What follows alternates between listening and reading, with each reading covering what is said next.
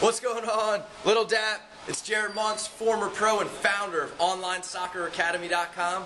Today I'm at my alma mater, Tchefuncte Middle School in Mandeville, Louisiana, and I'm about to give a Believe in It speech to 800 plus middle school kids.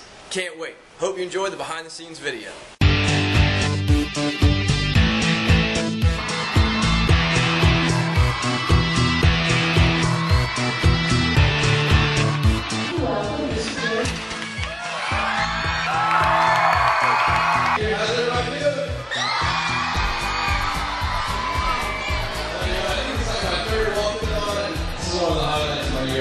Give yourself a round of applause.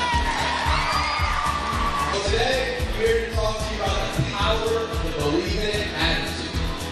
Okay? How it's going to make you successful in school, in sports, and in life.